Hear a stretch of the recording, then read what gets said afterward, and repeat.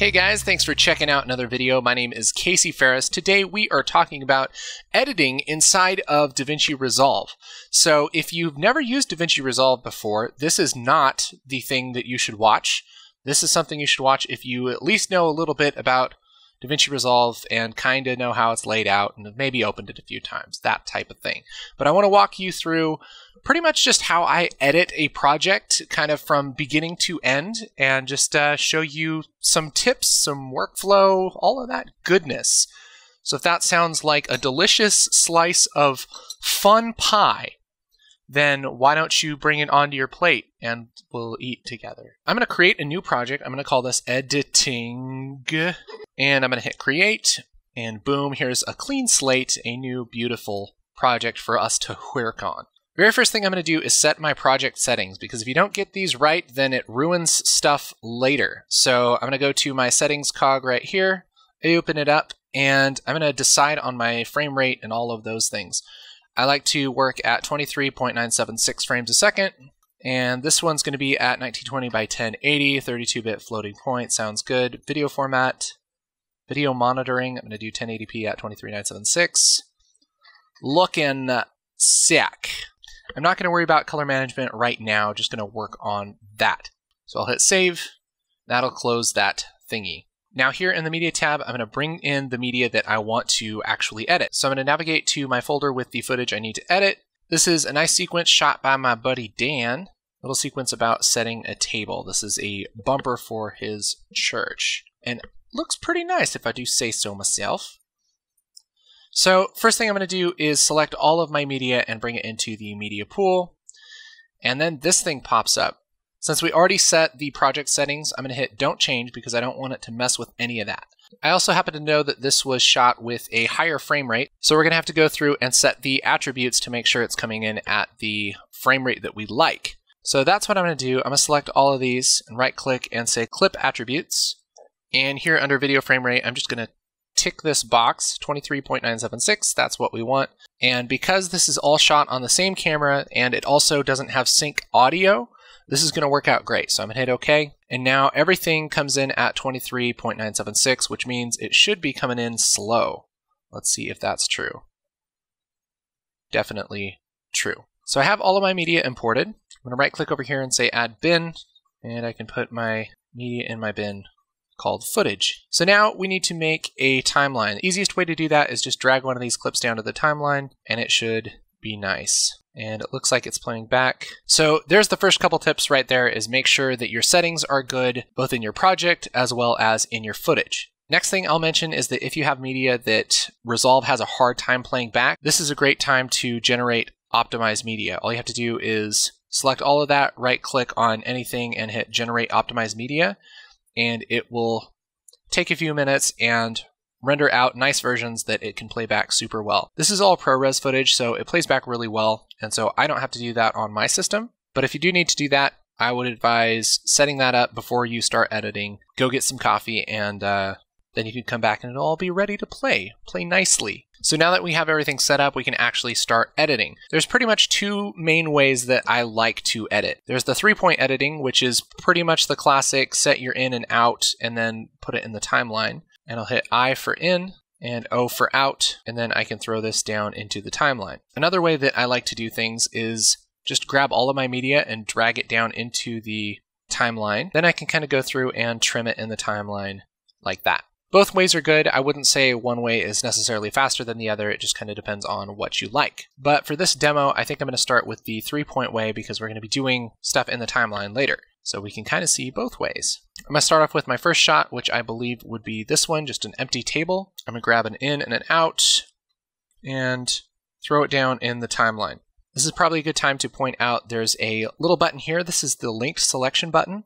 And so when you have that linked, you can grab your audio or your video and it will drag them both together. You can also click it to unlink it and just delete one or move one, whatever you need to do. And then there's also the snap. There's also the little magnet here which lets you snap to things. So snap to the playhead, snap to edges of things. I usually leave snapping off unless I'm trying to do something specific, and I usually have it linked at the beginning. So I can select this empty space and hit backspace to, to bring it to the beginning of the timeline.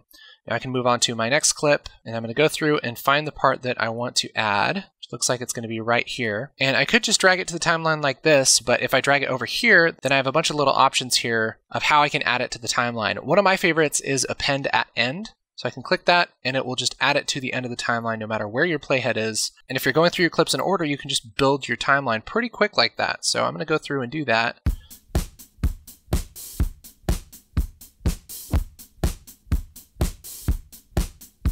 Then I'm going to go up to the start because I know that's actually the finished shot, mostly in order except for this first shot. And I'll append it end.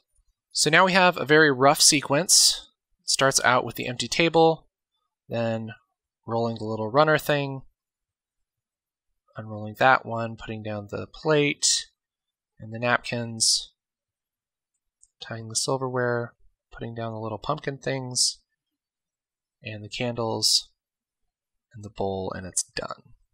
So one thing, this definitely needs to be shorter, and the easiest way to start that, obviously, is just to cut out some time, make the clips shorter. So I could go through and select the clip and roll it up like that, and then ripple delete, but that takes too much time. So what I'm going to do is set my keyboard shortcuts to help me out. So I'm going to open my project settings, and I'm going to go down to keyboard mapping. And by default, it says map keyboard to DaVinci Resolve. I'm going to make a new mapping, and I'm going to call it Kacers. I always set just a couple things to start out with, and then kind of add more things if I need to later. Under Trim, I'm going to go down here to Ripple Start to Playhead and Ripple End to Playhead.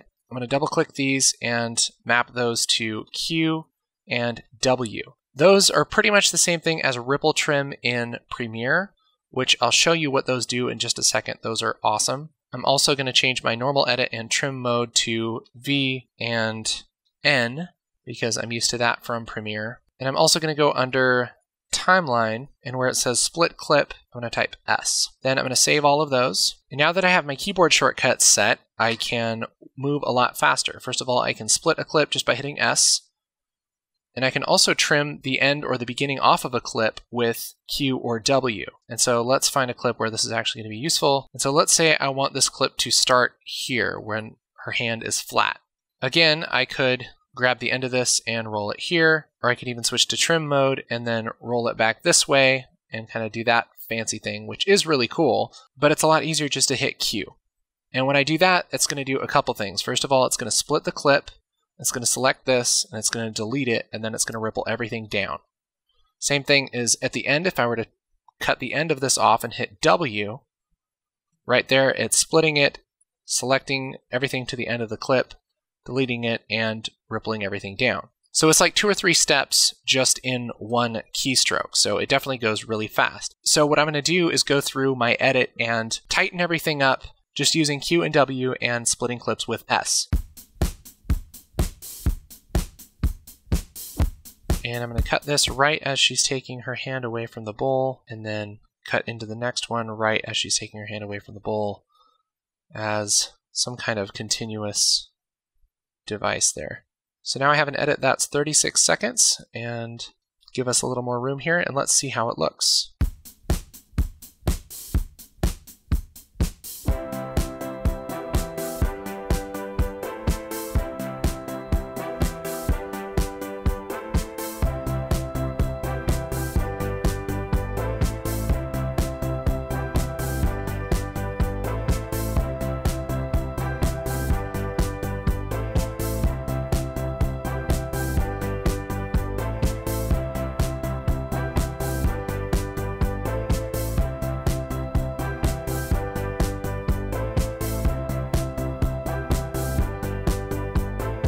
Alright, so I think the timing and everything in the edit is pretty good. And now I want to fix a couple problems. The first thing is I want to zoom this shot in because I don't like being able to see the light stands and her feet and things like that. So I'm going to open Inspector and just zoom it up a little bit and reposition. That seems like it'll work pretty well. And this is pretty much the same shot as the first shot. And so I'm going to grab this and right click and say copy, then move to my first clip and right click and say paste attributes.